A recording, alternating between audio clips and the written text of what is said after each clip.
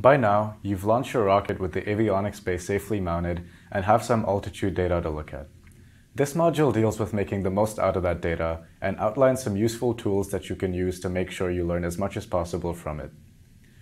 If you simulated data beforehand or predicted what your flight would look like, this is a great opportunity to see how far off from reality those predictions were and why that may have been.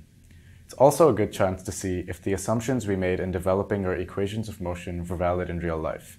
For example, if your predicted apogee was 200 feet and your rocket only went 160 feet, maybe you didn't account for air resistance, or maybe the rocket flew in a crooked path rather than the assumed perfectly vertical path. A useful tool to do this is graphing all your data.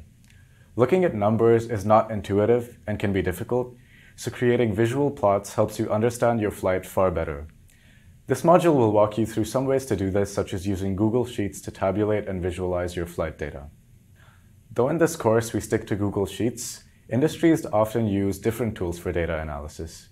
In industry, we have large amounts of data from test flights. The ability to use tools that scale well to larger data sets, for example Python, helps us learn as much as we can from each test flight and make relevant changes to our designs. This helps companies iterate on their work often to yield a better final product.